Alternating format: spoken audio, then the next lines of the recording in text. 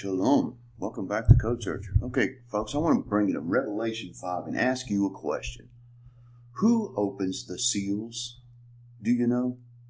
If you know your Bible, you know Yeshua is the only one found worthy to open the seals. And I saw in the right hand of him that sat on the throne a book written within the backside sealed with seven seals. And I saw a strong angel proclaiming with a loud voice, Who is worthy to open the book and to loose the seals thereof? And no man in heaven, nor in earth, neither under the earth, was able to open the book, neither to look thereon. And I wept much, because no man was found worthy to open the book and read the book, neither to look thereon. And one of the elders said unto me, Weep not, behold, the lion of the tribe of Judah, the root of David, hath prevailed to open the book and to loose the seven seals thereof.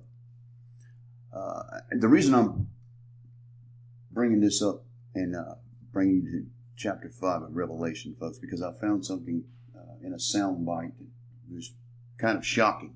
And it goes to testify about the knowledge of the person uh, of the Bible. So let me just play you a little clip of what this guy says is worthy to open the, the seals.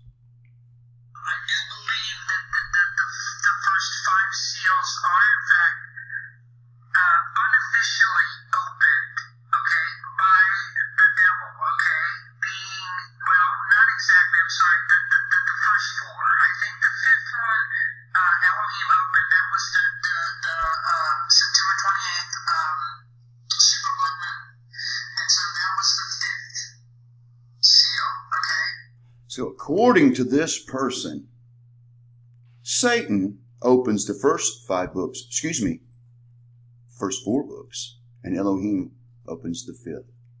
Really? Hmm. Are you following this, folks?